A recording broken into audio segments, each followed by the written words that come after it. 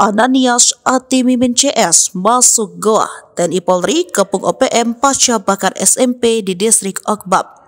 OPM Papua bakar sekolah di Kampung Borban, distrik Okbab, Kabupaten Pegunungan Bintang.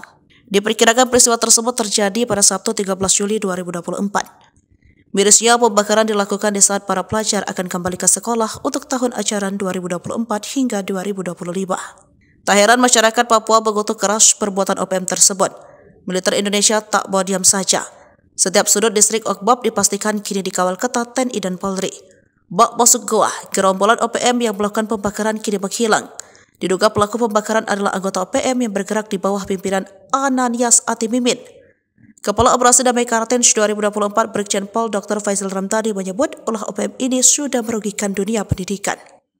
Ia mengatakan aksi kelompok tersebut merupakan kejahatan luar biasa yang harus ditindak tegas. Untuk mengantisipasinya, aparat keamanan meningkatkan patroli dan mengamankan daerah rawan.